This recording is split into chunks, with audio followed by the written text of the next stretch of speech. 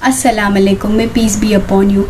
Ramzan is less than a week away. Are we all excited? Are we all charged up?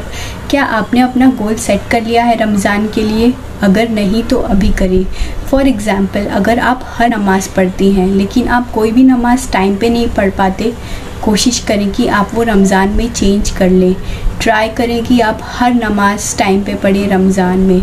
और जैसे अगर आपको अपनी कोई बुरी आदत छोड़ना है, वो आप रमज़ान में छोड़ें। Let's make a habit worth profit Muhammad peace be upon him thought as remember Ramzan में आपके सारे रिवॉर्ड्स डबल हो जाते हैं। ऑल्सो आप हर किसी के लिए दुआ कीजिए because we all are created by Allah Pray for everyone who are suffering all around the world.